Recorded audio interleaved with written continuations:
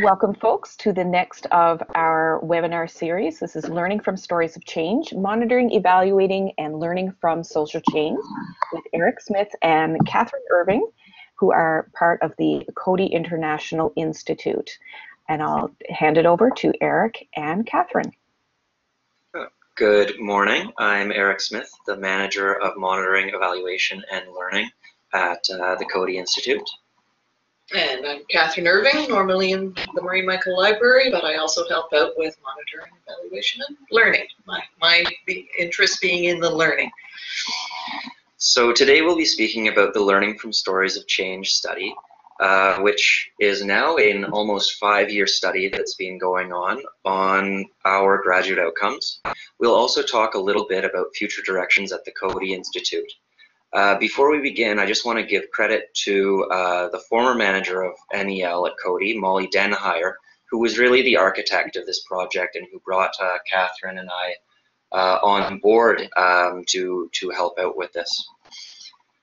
Um, so we're going to have three, uh, well, we're going to talk about the learning from stories of change. Um, as I said, it was a four-year, almost five year study. And the final report was uh, was published in December of 2017, and that report was based on 434 graduate surveys and 376 stories of change. But we're continuing to collect these uh, these surveys, and now have over 600 survey responses and over 500 stories uh, from graduates over the last uh, almost five years. And our webinar will be in about three parts. Uh, Catherine will introduce the challenge, the theory of adult ed, transformative learning, and methodology. I'll then talk about the results um, found in the report and what this means for transformative learning.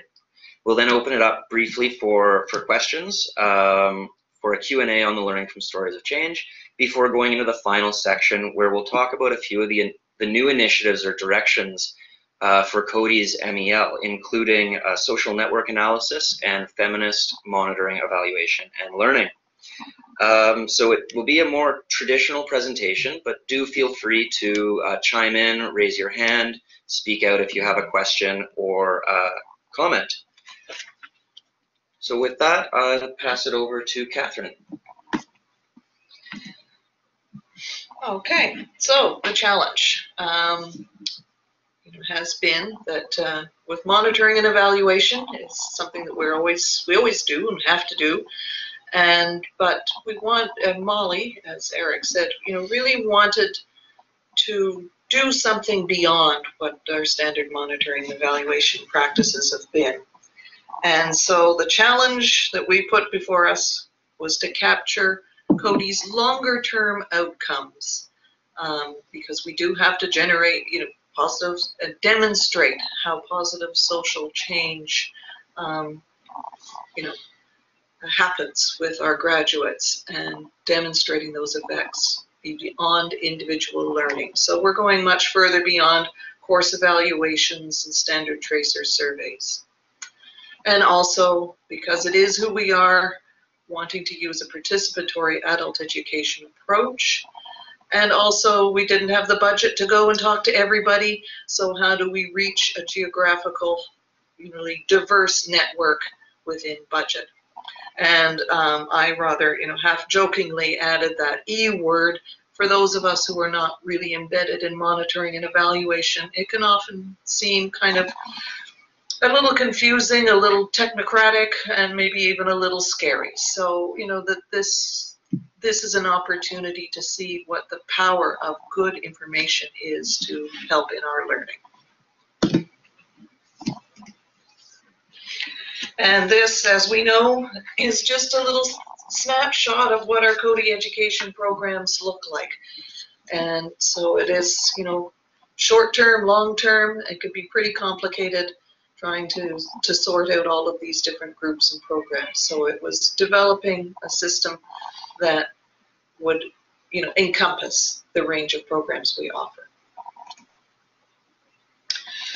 And so Molly brought me on board just because she was interested in bringing, strengthening that adult education approach. So I, you know, our theoretical framing is looking at transformative learning from our history of being informed by that Freirean approach of transformative learning as, you know, learning for social change and people's empowerment and community empowerment.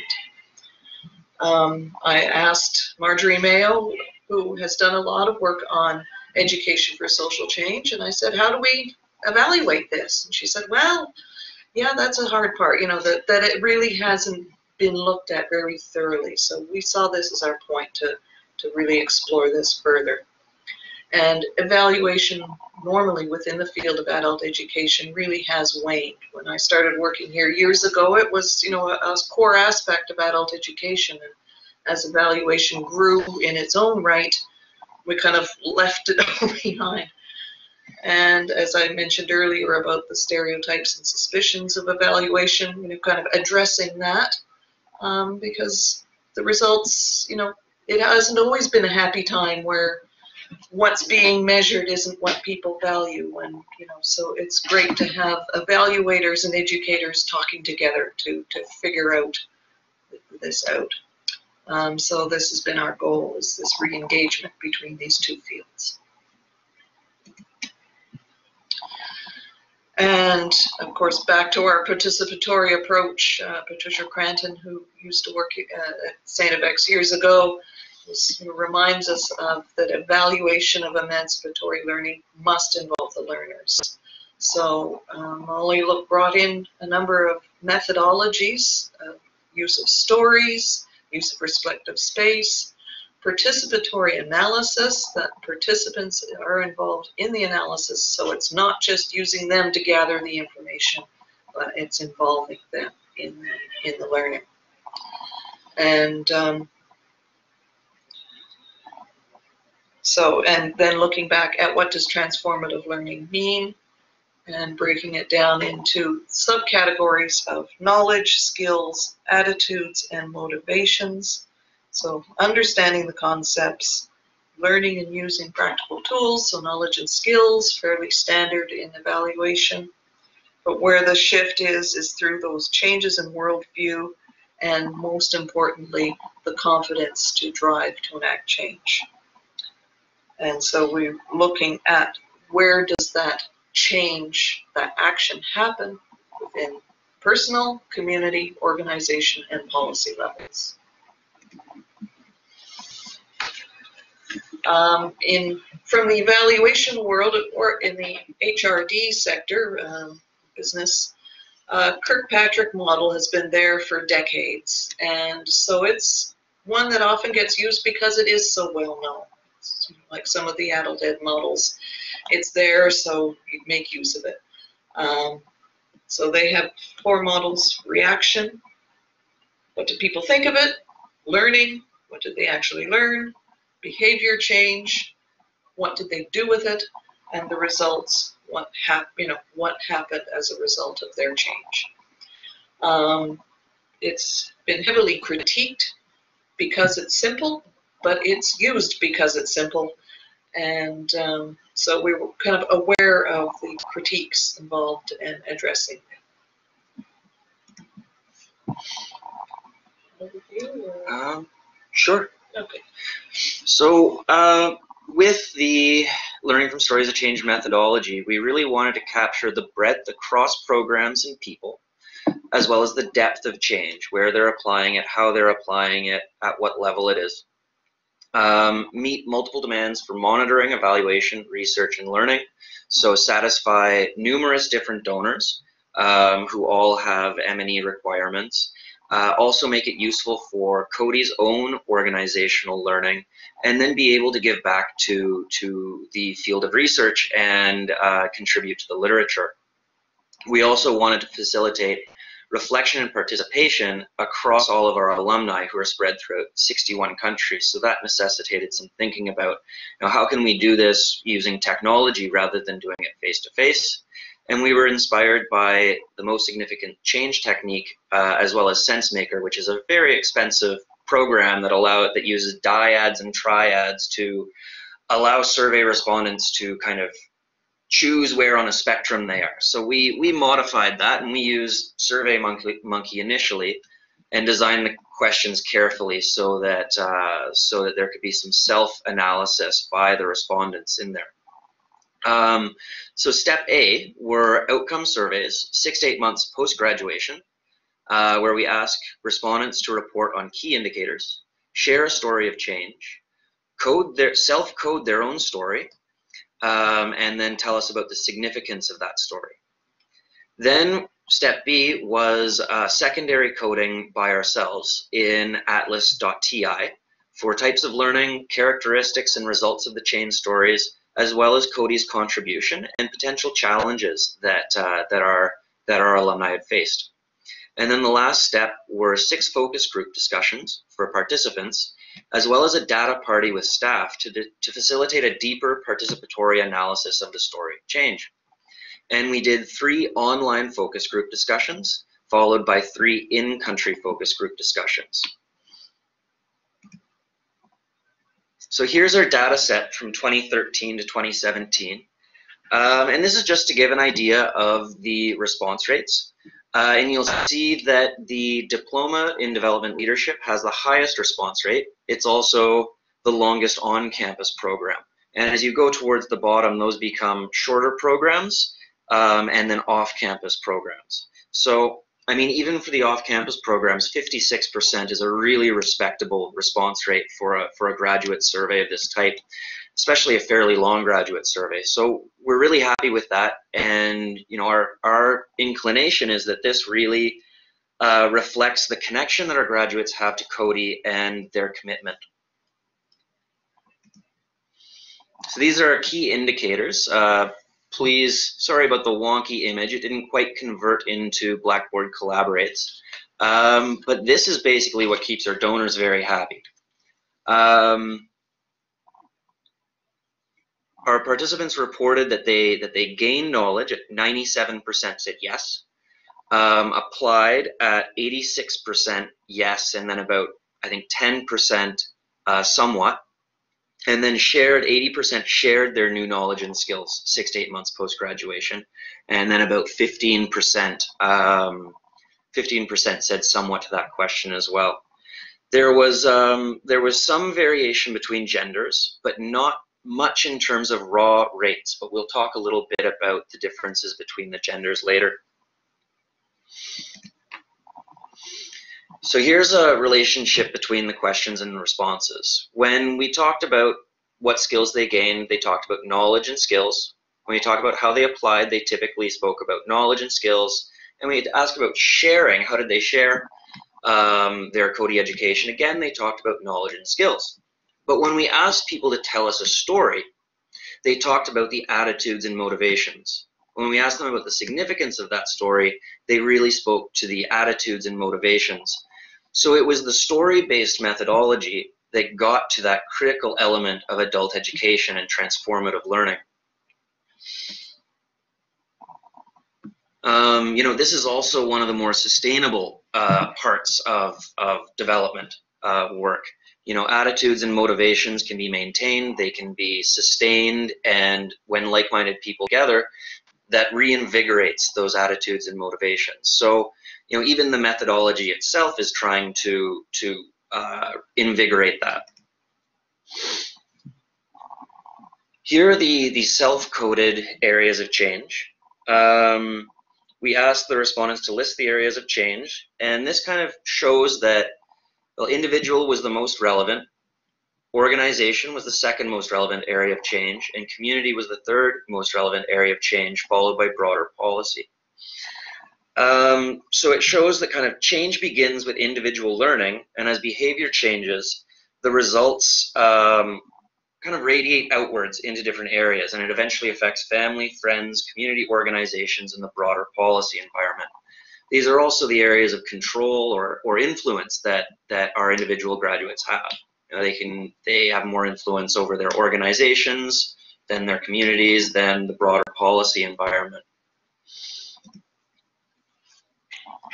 This is similar to the previous slide, but it it's our own secondary analysis of the of the code. So the raw numbers are a little bit different, but uh, but quite similar. And the the thickness of the areas demonstrates the linkages. So, uh, say from change in the individual leads to change in the organization is the is the strongest linkage between areas of change. Um, change in the individual then leading to change in the community would be the second strongest. Um,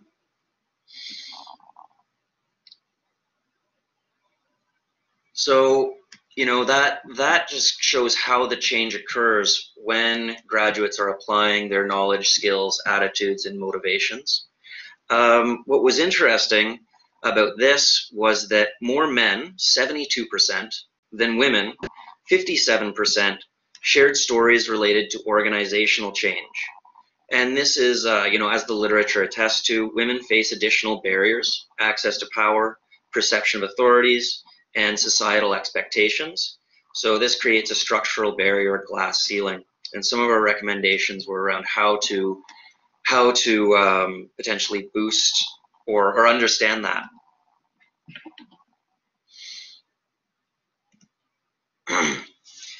to engage participants and staff in what we were doing, we held three online focus group discussions around a selection of stories. Um, and then three in-country focus group discussions around a selection of stories, trying to respect geographical diversity in areas of Haiti, Nepal, and Uganda, while the online ones were, were global. Um, this was to validate the findings and get a little bit more in depth in in in uh, the analysis and engage in, engage our participants in some reflection. We also held a staff data party. Um, you can see some pictures of that up there. So here again, it was for facilitators and staff to engage with the findings. Was there anything that surprised them? Anything that didn't? What does it mean for our recommendations? What does it mean for Coady?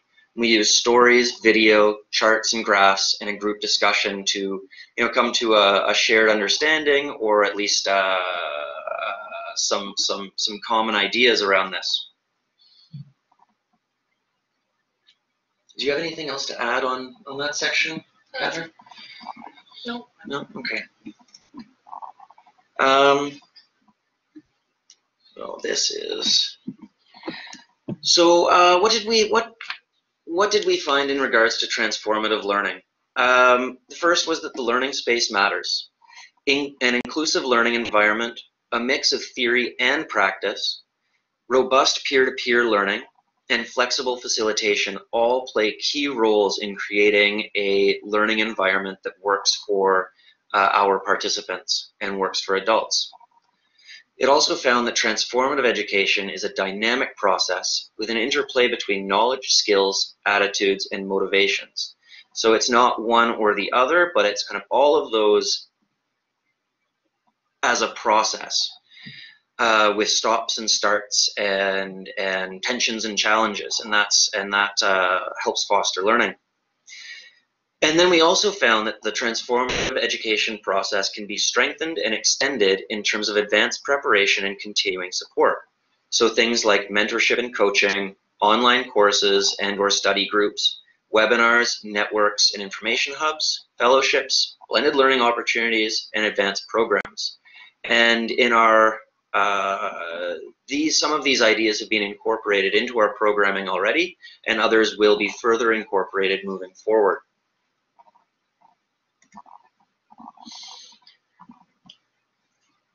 Um, one of the key findings is that our graduates are replicating and adapting transformative learning. They're replicating the adult education methods that they see modeled by facilitators in their own work having experienced the effect that the learning had on them.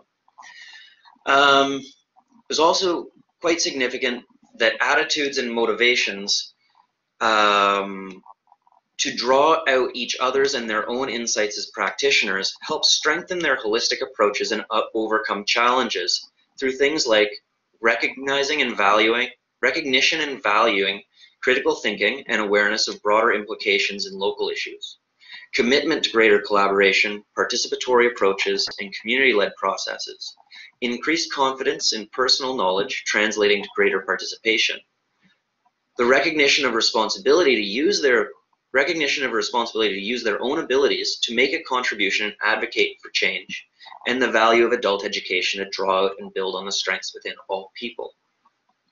Yeah, and I think I would just add that, you know, that was the, you know, the richness of the story. So earlier we saw the numbers of where these attitudes and motivations came out in the stories, but when you actually, you know, look at samples of them, you know, it comes out very clearly that, uh, you know, this is really, really useful information that would have been missed without that deeper layer of reflection by the participants themselves and their ongoing learning through this process and uh, and just yeah and some of the challenges you know, you know that, that they continue to face you know would be they were quite you know honest in their you know responses like this works great but you know we're still facing this challenge so it's very very useful in reading mm-hmm. Do you want to? Uh... So yeah, so just kind of leading on from that, um, that you know that that participatory analysis of stories through the focus groups as well. Um, so you know beyond the the, the, sharing your own story, the, the, results from the focus groups where people can engage with them and get into deeper discussions. Um, you know, where this this is another space for learning in the evaluation that it isn't just an you know an extractive process to get the information we need to keep our donors happy it's you know a really interesting learning space for graduates to sit back and think about where they've been and you know what's how how their uh, their work is changing or the you know the issues that they're still facing and um, so, you know, I think it's really important for that to justify the value of a, this kind of methodology that, it, you know, it is a continuation of learning as well.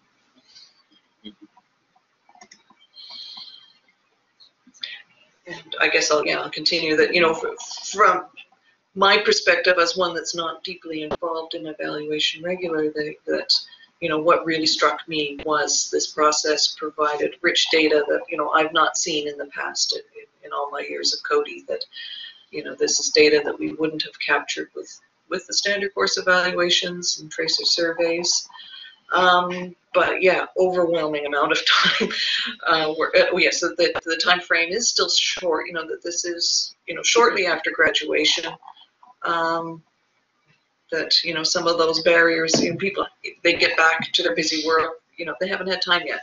Um, so you know following up a few years after graduation, we'll probably see even more results or uh, more interest, deeper analysis and stories, and a shift beyond, you know, that organization and community, and hopefully more at that policy level that you know, really makes donors happy. Um, but yeah, the challenge in replicating the method. It was a very intensive process, uh, a lot of work, and you know we're really fortunate to have this space to do that. Um, but I think you know this is our role in, in documenting the process to demonstrate its value and recognizing when it's time to you know wrap it up and, and develop onto um, new things and just that the bulk of data that you know the value of having atlas ti which is you know a, a database for qualitative research um, took a lot of work to set up um, but now we can dip in and get you know a lot of information that would you know otherwise just be you know sitting in evaluation form somewhere. So you know having a way to extract the data is just as important as it is doing the evaluation itself.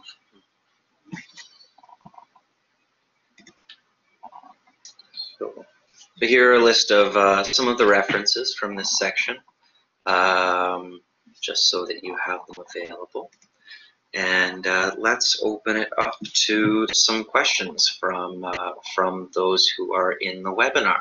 Uh, now those questions are are more aligned towards graduates, so uh, please feel free to ask anything you'd like.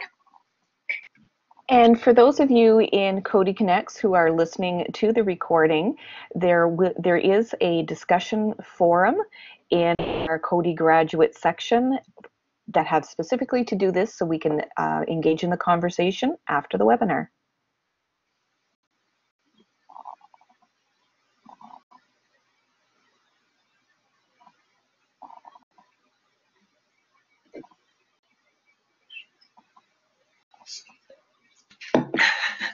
Paula, Joan, anything? so perhaps Eric and Catherine, if you could rephrase the question to us and uh, get us to you know, maybe even think about um, what uh, what's resonating with us about your process of the stories of change findings and how it might resonate with us as practitioners as well.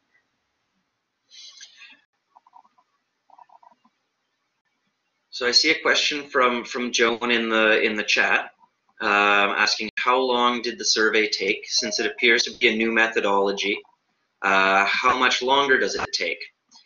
Um, so with uh, the survey software, we can actually time how long it takes participants to fill it out uh, compared to traditional methods. So in terms of participants filling out the survey, it's it's no different than any other survey. I would say the typical response time would be between 10 and 20 minutes, but some uh, preferred to share more and others preferred to share less. So there were some extremes on either side, either side, but the bell curve was probably between 10 and 20 minutes.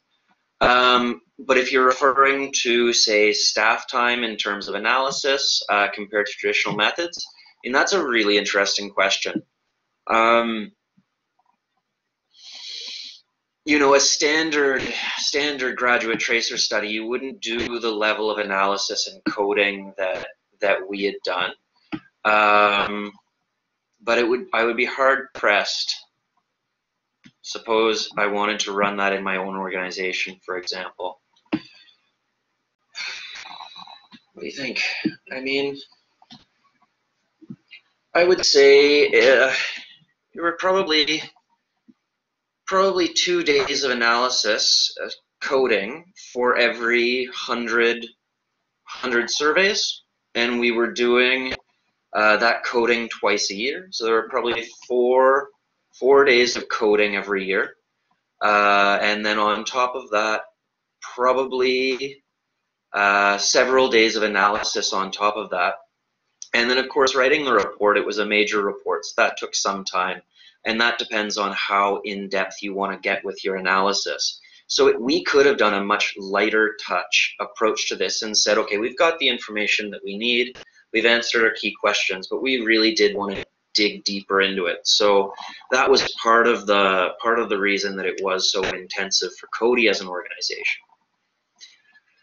Yeah, and I thought, you know, I think you know, when I was emphasizing the time, you know, I think in the initial setup of it was, you know, a lot of work, but it is, you know, producing results. So I think it's knowing there's going to be, you know, quite a bit of work up front, but you know, once it's in place, then it, it makes, you know, as with anything, you know, we put the investment up front and then, um, you know, it, it works out well in the end. Um, so I guess it's just entrusting that, and maybe yeah, what's how you do how do you scale it for what it is you're looking for, and if we're just focusing on something you know narrower, then it, it certainly reduces it quite a bit. So. And so as as Wendy's just pointed out in the chat, fairly typical with qualitative data analysis. You can you can be light touch or you can be you can you can get quite in depth if you'd like. It's Paula. Mm-hmm. Um, just because I talk faster than I type. So I, this is really interesting to me because it's what I've been doing for decades, actually.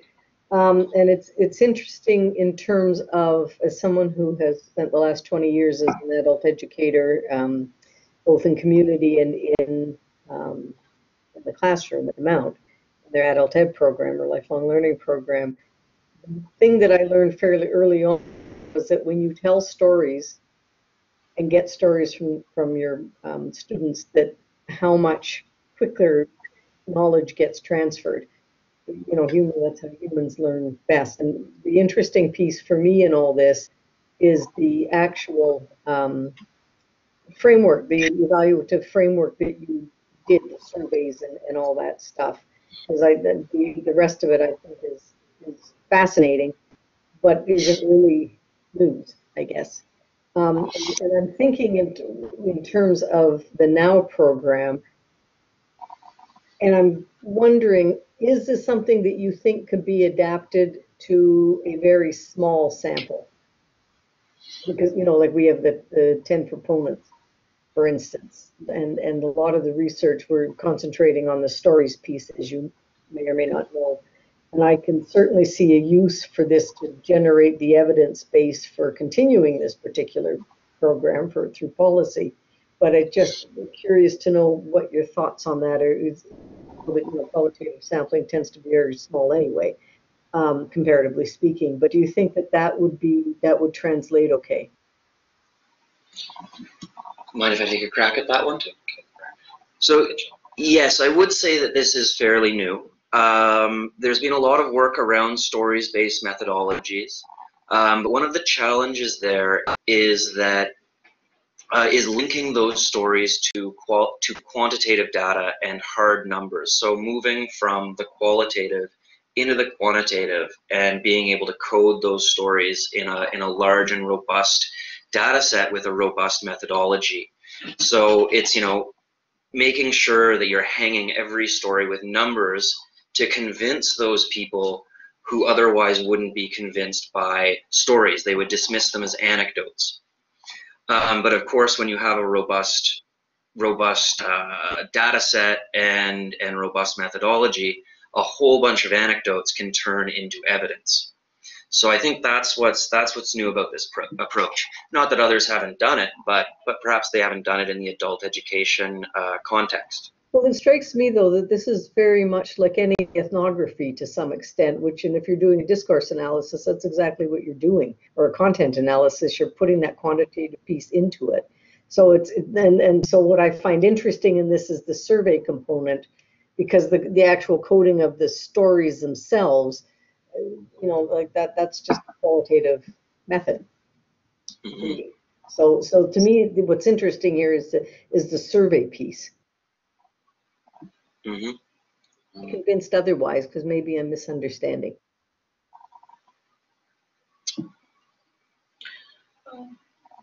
Well, I can chime in also. I think, yeah, it's the, it's the combination of things. Um, you know, from a lot of the literature and trans, you know, within adult education, yes, you know, we're all convinced, you know, we use story in, in class and we use it in evaluation. But um, yeah, I think it is the mixture of the two of having those numbers. I think that was where it might be at a, in a smaller sample, it would still be stories and that would be, um, you know, oh, this is really nice. That's good. That's, you know, that feels good. Or, oh, that's an issue. I wonder what's going on there.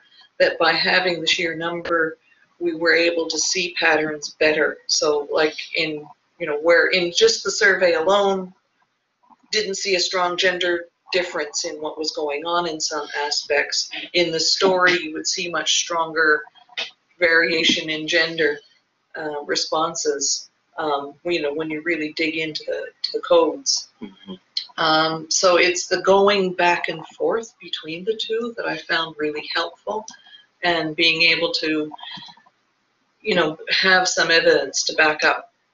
Uh, you know, we, we sort of say, you know, kind of self-deprecatingly kind of you know oh our hunches or you know we know this works but don't always have that the, the data to back it up. And um, I know that this is a real challenge particularly in, in fields of adult education that you know either profess or you know or are in, you know involved in that transformative learning work. You know I've read lots of case studies where I thought mm, yeah this is a nice story but you know, I, am not so convinced about the, you know, the, the results from it. So um, that's what I, I found engaging in this. And and certainly many of the community development practitioners that I've spoken to have said that it is that that move from from the qualitative to the quantitative that you know they have quantitative numbers in terms of number reach, you know, knowledge gained, skills gained, etc but but to be able to then look at the stories and hang the quantitative numbers on that they've said that that was not something that they'd seen before and they've been looking for a methodology that would that would allow them to do that while using stories and get at what really counts in in development. Um, and uh, you know perhaps that's yeah.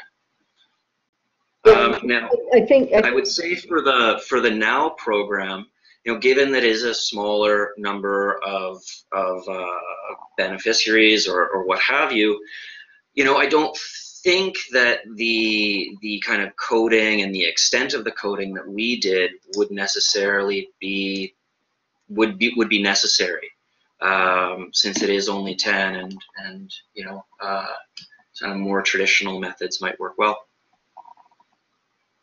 I think Catherine, you've hit the nub of it for me um, with the, this using a mixed methods approach for transformative learning. Because you're right, in adult ed, people tend to either fall very heavily into the qualitative or the quantitative. I've always said that doing a mixed methods approach is the best way to get the big picture because you've got the quantitative that shows you the what, and you've got the qualitative that shows you the why. And it seems to me this is a brilliant example of, of that. Mm-hmm. Thank you. Yeah, that's exactly it. Um, any other questions on this one? Um, oh, Joan, you mentioned coding. Could you say more about that for those of us who aren't familiar with that term slash practice? Um, so coding would be would be reading a story. Um, I'll use the example of uh, knowledge, skills, attitudes, and motivations. So we have a definition for knowledge, we have a definition for skills, we have a de definition for attitudes, and we have a definition for motivation. And when you read that story, you highlight sentences or paragraphs that fit that definition. Um, so, you know, you get a hundred stories. Um, let's say 20% uh, are primarily about knowledge, 20% uh, are primarily about skills, 30% are primarily about attitudes, and 30% are primarily about motivations. Um, and you can draw some inferences from that, especially when you code a little bit more deeply, and you can code between between um, between. Uh, uh, sorry, I've lost my train of thought, but that's kind of it in a nutshell. That's a fairly standard practice in in qualitative uh, qualitative analysis, and it could be grouping. Sometimes you would you would take say um, ten anecdotes, and you would you would say three are about this subject, and seven are about this subject. Uh, let's analyze those seven a little bit more deeply to see what else we can find by by digging into those ones. And it also brings in, you know, what are uh, the other types of background research that we need to do before we embark on a project like this. So, you know, doing a bit of a literature review, was it, you know, what is it I'm actually looking for, either, you know, within our own documentation or our own, you know, reports to donors, what are those keywords and concepts that we need to track? Um, when we get into adult education, uh, Christina Holmes helped us a lot with the, the setting up of the ATLAS.ti. And so she, you know, she was reading adult education literature too. Okay, what are some of those, you know, core concepts that, that we, you know, use? And so heading, setting up those definitions of knowing what to look for and then how to code appropriately. Mm-hmm. So that's kind of the work that's done. Essentially, it's looking for patterns. Yeah. yeah.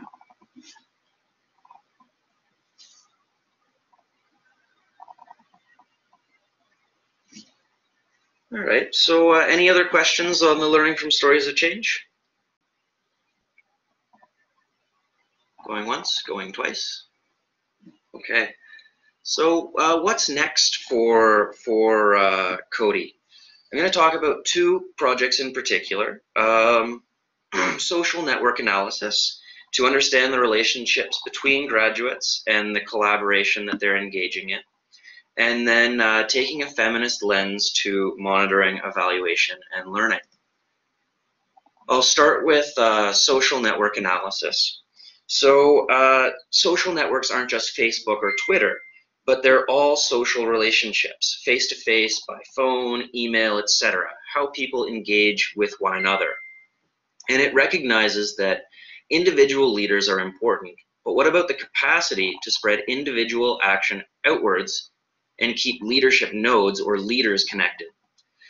Um, the creation and maintenance of positive social relationships is a critical element of the ABCD approach. Relationships are assets embedded within a social context. And social networks can bring together new people, bring together assets and resources, reduce duplication and efficiency, and help share ideas. Um, and the picture on the right is a social network analysis of the Mandela Washington Fellowship Regional Advisory Board members. And so the circles are individual people. Um, the size of the circles corresponds to the number of interaction that they have with others, and the lines correspond to who they are connected to. So you can form these, these, these visual graphs of what a social network looks like, which helps you ana analyze it.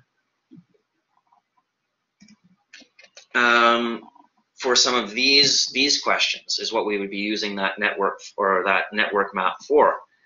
Uh, so the initial study will look at the Coady Alumni Network in South Africa. Uh, social networks and the individual actors, we hope will generate knowledge and insight into how community development innovations can be translated into different contexts and into action.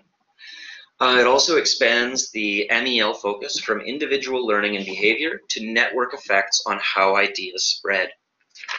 Um, it will use quantitative data to visualize how graduates are connected or not and we'll use qualitative data to understand why graduates connect with each other and what they share. So tools, approaches, job opportunities, new ideas, professional development, etc.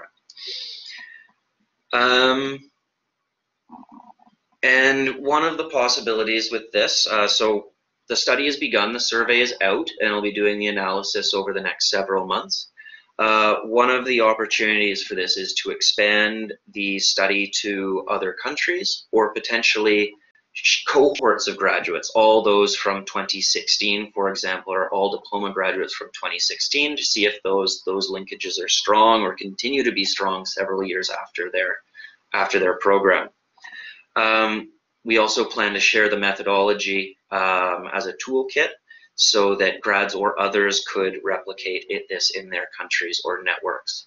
Uh, and there's the potential to strengthen and support the, the graduate networks that Coady already has with this, or at least understand what makes them tick, what makes them work, or what challenges there are, what barriers there are to, to graduates connecting.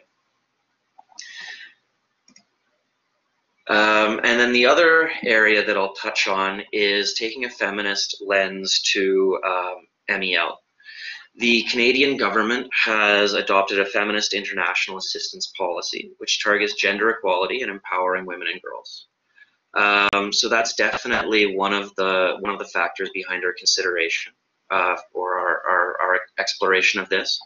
Uh, but it's also becoming a more common approach in monitoring, evaluation, and learning. And I can point to some of the work that Oxfam Canada has done around this. Um, it's feminist MEL in general is not just about voices being represented, but creating space for uh, consciousness building, reflexivity, and capacity building not just for women and girls, but also for men and boys. And it's not a rigid set of tools or approaches, but a lens informed by certain principles. So it recognizes that gender inequalities lead to social injustice and that discrimination based on gender is structural and systematic. MEL approaches themselves should challenge these inequalities and power structures and enable us to learn. It also challenges the perception that MELs are neutral um, but can instead themselves reinforce or counter power relations, um, both in the processes that they use, but also in the evidence that they generate. And some of the key principles here are that it's participatory, reflective, mixed methods, empowering for others and partners, and flexible. So actually quite similar to some of the principles that we used in the learning from stories of change approach, though we didn't necessarily call it feminist and we didn't we didn't interrogate the data with an explicitly uh, explicitly feminist approach. And it's a learning partnership, not a performance test when you're dealing with with partners. Um, of course, there are some challenges with this, such as the meaning of empowerment varies across partners, individual women, and movements. And then there's also been some pushback against the label feminism or feminist you know, as a Western idea or imposition, especially when it's coming from from a donor or from a partner organization. Um, so those are some of the some of the things that I'm thinking about and we'll be uh, am currently doing a literature review and we'll be able to share some kind of internal doc, uh, internal um, internal documentation at Coady and um, and hopefully more widely within the coming months. Um, Yeah, I think also, you know, this is where, you know, our Coady graduates could con- could really contribute to this uh, this layer as well. You know, the especially with you know African feminisms and feminisms in South Asia that you know pushing back against that pushback about Western imposition is. You know, we have a lot of graduates in the Global Change Leaders programs that they deal with that issue within the course, and then well, what does that look like when they go back in their organizations and, and they're kind of you know strengthening uh, what does an indigenous feminism look like in their in their context? And also i just you know the, the highlight for me is you know challenging the perception of you know it's kind of what's the contribution to um, you know monitoring and evaluation to challenge that neutrality sense um, you know these are issues that we've been dealing with in adult education and social sciences uh, for years so you know it's coming into the to the monitoring and evaluation world as well is, is really encouraging, I think. Yeah. Um, oops, have to click there for the next slide. So uh, I see Paula has posted a, uh project that I will definitely be taking a look at um, on social network analysis about the about community-based AIDS organizations in Nova Scotia and how they learn. So I'll definitely take a look. And then another question, MEL means what again? So MEL, monitoring, evaluation, and learning. Uh, to really emphasize the fact that it's not just about monitoring and evaluation for, for you know, donors uh, or for our donors, but instead it really should be about learning, and that should be the emphasis on it. Yeah, and I think also how, how you know, learning among the participants who are engaged in the process and our own learning as well. It just struck me uh, talking to some participants last year who, you know, were fairly open about, oh, yes, we write all these reports, we send it to a donor, it ends up in a drawer or a hard drive, and the organization doesn't, you know, engage with it. It's, you know, phew, we got a report off to our donor, but what did we learn from it? Do we, you know, so being more attentive of how do we feed this information back in? How do we engage as a staff hmm um, to be involved in this process and uh, and having you know different perspectives chime in and say, oh, what about this and what about that? And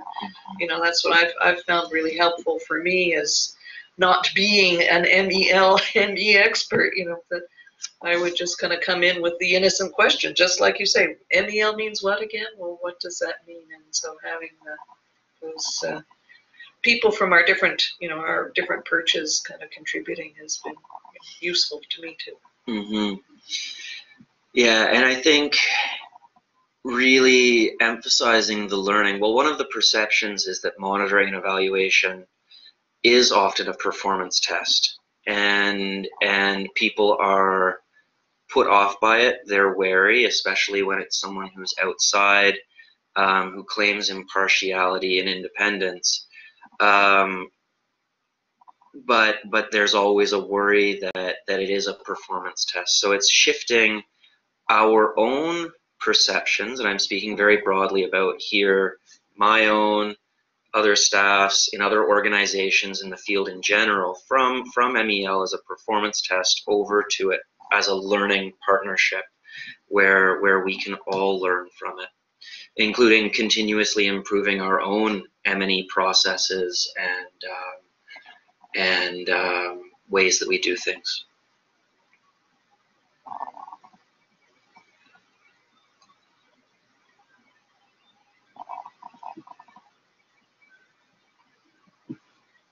I'm just reminded, I'm thinking back way back in when, you know, when I was a student in university, we were kind of complaining about the course evaluation forms and got the pushback. Oh, we can't change that because, you know, it would wreck our data. We have to keep it exactly the same. And that, you know, the, you know, the, you know, the rigidity of, okay, we're going to keep using a bad form because we've always used that bad form. It's just, you know, it's, it's a much more refreshing time now that how do we measure what we really want to measure? How are we doing this attentively and, uh, and usefully is helpful. Yeah. Because what you measure counts and what's counted is valued. Yeah. Or at least that's what you hope. Yeah. so it's it's both ensuring that you're collecting the right stuff and that it's actually actually useful to everyone. Yeah.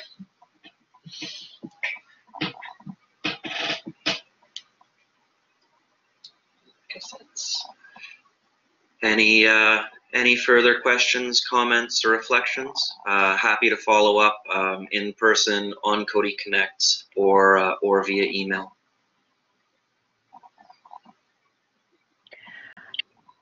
Okay, I'd like to take this opportunity to draw your attention to the link that was just posted in the chat. It is part of our monitoring and evaluation process of our webinars. Um, that is a survey we would ask you to participate in. It'll take approximately two, two to five minutes of your time. And our responses are anonymous and will be uh, collated and analyzed and dated and encoded um, as part of our process for improving our webinar series and also connect collecting your feedback of what other webinars either you or some of the graduates you uh, are, are in uh, contact with may be interested in doing. Uh, those of you who are listening to the recording, if you click on that link, it will also take you to the um, to the survey as well. So in the recording, you will see the chat and the link will also be active. The link will also be in the Coady Connects discussion forum as well. Thank you very much, folks. Thank you very much for, uh, for tuning in today. I look forward to continuing the conversation. Yes, thanks. Bye.